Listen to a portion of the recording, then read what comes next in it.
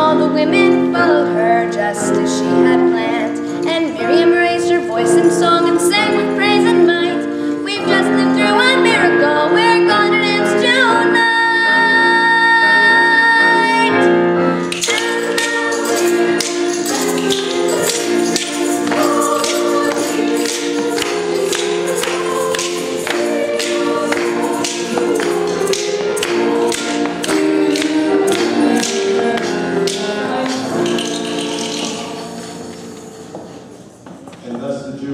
themselves to be immigrants